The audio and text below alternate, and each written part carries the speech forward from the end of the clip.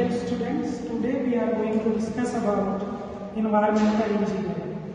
So this environmental engineering have, having two main component or two main division of this subject. First one is known as the water supply engineering and second one is known as the wastewater engineering. So we can write here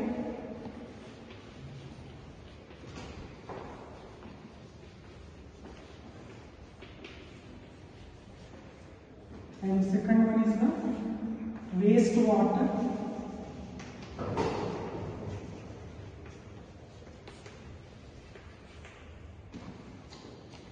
so in current semester we will discuss about the water supply engineering and in next semester we will discuss about wastewater engineering so first we have to know why we have to discuss or why we, we have to study this subject so what will be the content of this water supply engineering? So in this water supply engineering basically we are having five main units. So these five main units are the need and importance of water supply. First, we have to study about the need and importance of the water supply. Second unit, we will discuss about the quality of water.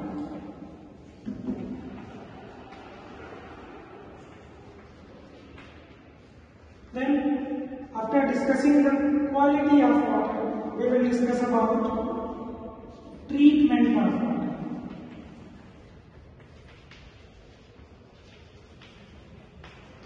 and after treatment the next unit will the next content will be the water softening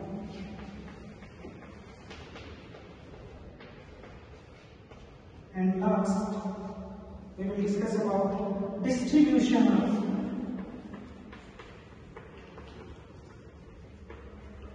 distribution of water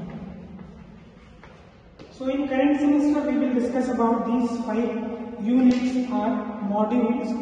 So first we will start with this need and importance of water supply.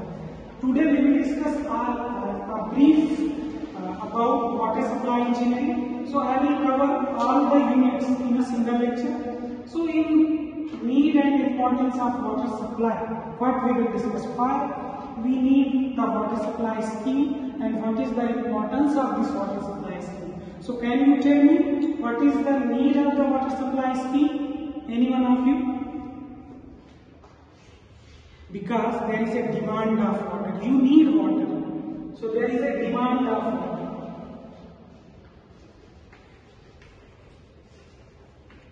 And then we have to also study the source of water because you, you are demanding the water. So from where we will get the water? So we will also study about the source, sources of. So these two things will be covered in this need and importance of the water supply. So first we will count or we will measure means we will determine the quantity of water which is required by the public. Or then we can say we will come to the conclusion that uh, public water supply, the demand of water, we will come to. And this will be covered by per capita demand. So I will not take too much time in these topics. I will come to the next.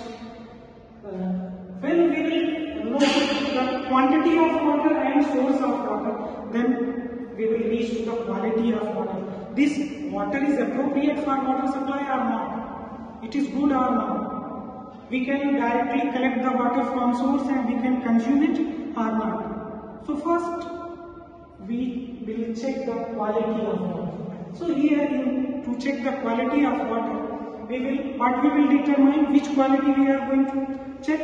So we will check the quality of water is physical, physical characteristics, chemical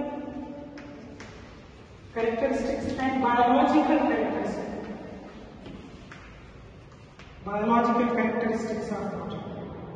So all the quality parameters of the water will be checked through BIS, Bureau of Indian Standards or WHO.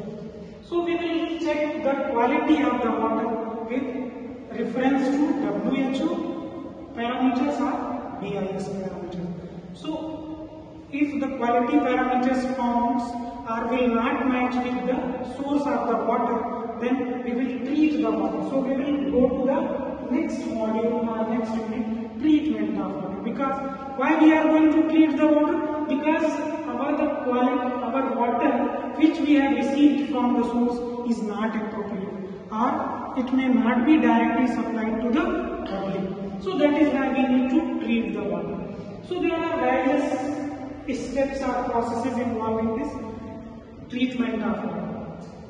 So here we will collect the water from source and then this water will be supplied to the treatment plant. So this is also a process and it will contain some different units. So I am not going to discuss in deep about this component but just I want to tell you there are various processes like sedimentation, then filtration.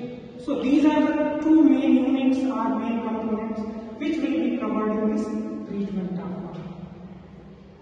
After that, when the water is treated, then we will check the water or we will uh, do uh, one more practice or this is also you can say related to the treatment but this is known as the water softening. So before supplying the water to the consumers, we will soften the water. Means if the water is hard or some bacteria are also present, so we are doing the chlorination. So this is known as the water softening or generally removal of the hardness of the water is we can say simply water softening. So these few steps are also. We can also say that some removal of the ions or heavy metals if present in the water, so those should also be removed because they may uh, public to suffer from few disease. So that is why we also do the water softening. And if we will complete the steps up to the water softening, now the water is ready to distribute. So in the distribution, we will discuss about the methods of distribution. So there may be the uh, gravity system or maybe the pumping system. So then the water will be ready and we will supply. So we all the units we will cover in different uh, steps. So in next lectures we will start the unit first which we have also discussed little bit today. So this is for today's introduction. Thank you very much.